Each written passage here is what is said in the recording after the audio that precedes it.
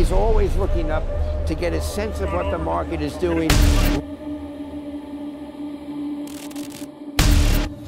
We are in the midst of a serious financial crisis, and the federal government is responding with.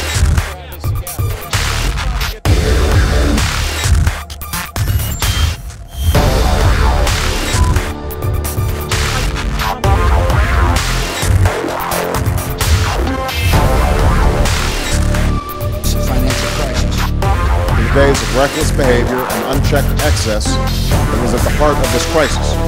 It was at the heart of this was at the heart of this crisis. In days of reckless behavior. The numbers are horrible. We are on our way to a real disaster, I believe. Some of this country's major financial institutions are in danger of collapse.